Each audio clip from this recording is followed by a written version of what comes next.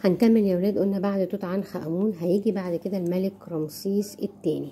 بقول على الملك رمسيس التاني أهو رمسيس التاني بقول عليه من أو أشهر ملوك الأسرة إيه؟ ال 19 اما أتكلم عن اعمال اللي عملها هتكلم خارجيا تمام كده؟ وهتكلم إيه؟ داخليا.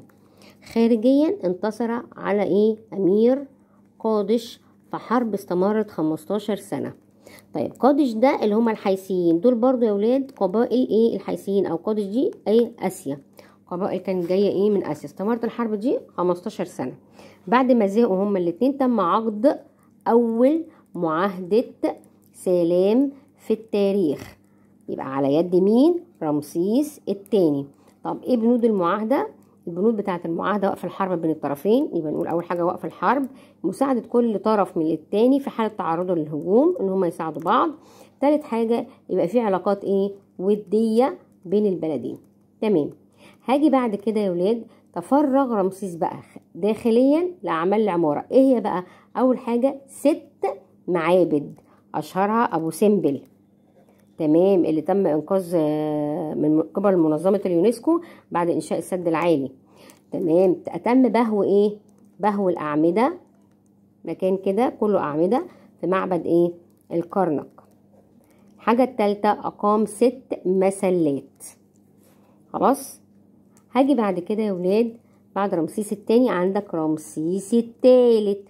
أشهر ملوك الأسرة العشرين وبقول عليه أشهر الملوك الفراعنة العظام. وركز بقى معايا في الحتة دي. ليه بسميه كده يا ولاد؟ عمل حاجة مهمة جدا.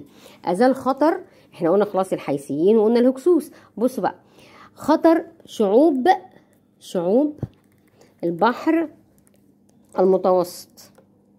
تمام؟ شعوب البحر الإيه؟ المتوسط. طيب عمل إيه بقى مع شعوب البحر المتوسط؟ أول حاجة قضى عليهم تماما. طب قضى عليهم منين لفين؟ بريا يا ولاد حتى مدي من إيه؟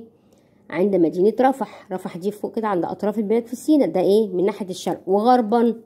خدوا بالكم في الحتة دي. عند إيه؟ مصب نهر النيل من الغرب. هو إيه مصب نهر النيل الغرب يا ولاد؟ اللي هو رشيد. عند منطقة رشيد. يبقى أزالهم خ... تماما. خلاص؟ وتصدى للقوات بتاعة الليبيين اللي حاولت إيه؟ تهجم على مصر من الغرب. وتصدى لمين؟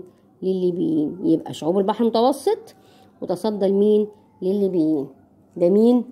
آه رمسيس الثالث هاجي بعد كده بعد رمسيس الثالث خلاص سقوط الدولة الحديثة وانهيار عصر النهضة وانهيار المجد الحربي بسبب ضعف نفس السبب ضعف الملوك والحكام بعد رمسيس الثالث الحاجة التانية زيادة نفوذ الكهنة ومحاولتهم إن هم يوصلوا للإيه؟ للعرش. زيادة نفوذ الكهنة ومحاولتهم للوصول للإيه يا ولاد؟ للعرش. هاجي بعد كده العصر المتأخر أو عصر الإضمحلال الثالث يبقى هنقول كده العصر المتأخر. خلاص الدولة بقى وقعت وده امتد من الأسرة الواحد وعشرين حتى الأسرة التلاتين. إحنا خلاص قلنا آخر حاجة كويسة كانت الأسرة العشرين. طب في الفترة دي بيقولك بقى ضعف وتعرض للبلاد للغزو الأجنبي وتعرض للأطماع الخارجية. إلى أن ظهر إحدى ملوك الأسرة الستة وعشرين اللي هو إبسماتيك الأول. وده عمل إيه يا ولاد؟ تصدى أو طرد الآشوريين اللي حاولوا يتعرضوا إيه؟ لمصر. تصدى ليهم وإيه؟ وطردهم بره البلاد. واهتم بالتجارة. الخارجية كان مع مين الفترة دي؟ الفينيقيين جه واحد ابن حلال كده ابنه نخاو تولى بعديه الحكم. خلاص؟ وأكمل إيه؟ اللي عمله واهتم بح... ب... ب... بأعاد حفر قناة سيزوستريس لأن هي اتردمت نتيجة إيه؟ رياح شديدة. فهو رجع إيه؟ حفرها تاني. تمام؟ اعاد إيه؟ الحفر.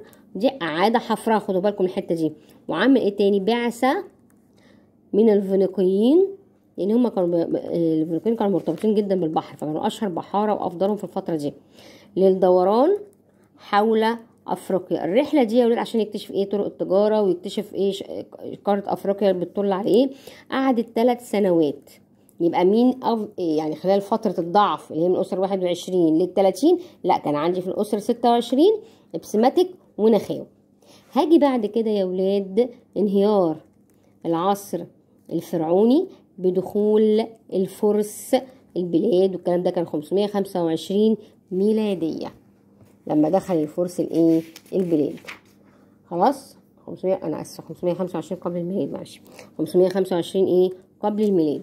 استمر الفرس في البلاد فترة طويلة جدا قعدوا من الأسرة الستة وعشرين حتى الأسرة التلاتين. طبعا طردوا إيه؟ أبسماتيك وطردوا إيه؟ نخاوي والكلام ده كله. بعد كده جم بعد الفرس اليونان اللي هو الإسكندر تمام؟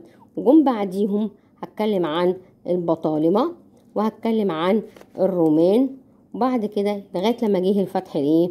العربي لمصر. والكلام ده كان على يد مين؟ آه عمرو ابن العاص في 641 ميلادية. يبقى دي قبل الميلاد 525 الفرس دول قبل قبل الميلاد وهاجي بعد كده يا ولاد عند إيه؟ آه بعديها من الأسرة 26 للأسرة 30 هتكلم عن إيه؟ الايه اليونانيين بعدهم البطالمة بعدهم إيه؟ الرومان لغاية لما تم الفتح الإسلامي على يد عمرو بن العاص وتم تخليص البلاد من الرومان في إيه؟ 641 ميلادية. الفترة بتاعت اليونان والبطالمة والرومان ده إن شاء الله ناخدها ال term الجاي. من هنا بقى هبدأ أتكلم عن الحياة الاجتماعية الحياة السياسية الحياة الاقتصادية الحياة الدينية بتاعة الفراعنة. هناخد برضو جزء منها ال term ده وجزء ال term الجاي. بس كده.